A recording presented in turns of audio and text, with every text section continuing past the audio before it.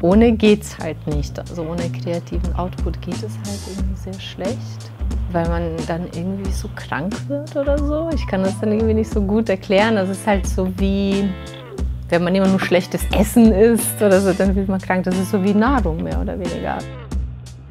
Ich bin Zrinka Budimlia, ich bin Malerin. Man, man hat etwas in, in sich, was vielleicht noch nicht sichtbar ist.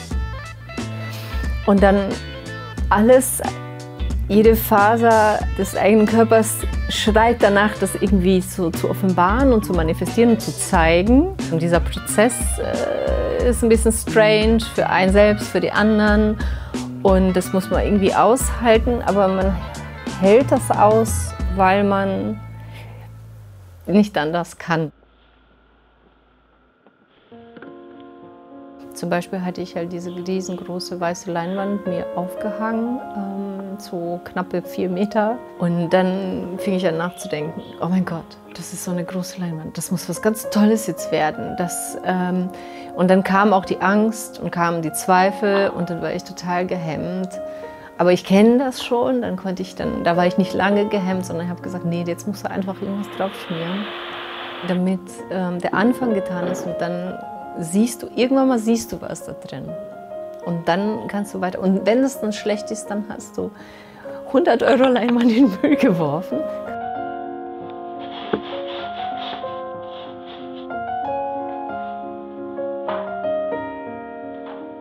Wenn man immer nur nachdenkt, dann passiert auch nichts Kreatives. Man muss es wagen. Man muss es wagen, einen Fehler zu machen, sich lächerlich zu machen, auch ein bisschen doof dazustehen für eine gewisse Zeit, bis es dann irgendwann mal wird. Also dann muss man natürlich immer weiter dran arbeiten und sich entspannen und auch mal zurücknehmen und gucken und frisch, immer versuchen, so frisch zu sein mit den Sachen und nicht zu viel nachzudenken. Wenn man zu viel nachdenkt, macht man dann auch diesen Prozess irgendwie kaputt.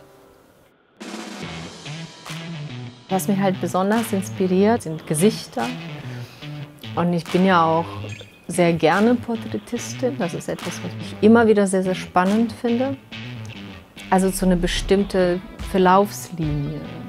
Wenn jetzt der Kopf so oder so oder so geneigt ist, wenn so eine Dynamik irgendwo oder so. Manchmal sehe ich auch Linien, wo es halt keine gibt.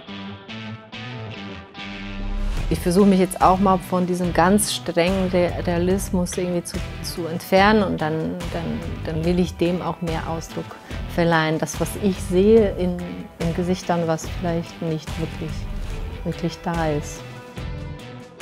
Das ist etwas, was, was mich antreibt.